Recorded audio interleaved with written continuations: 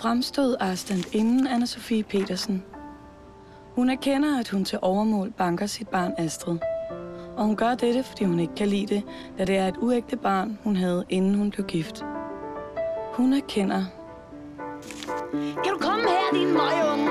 Jeg skal lære dig at lave ulykker.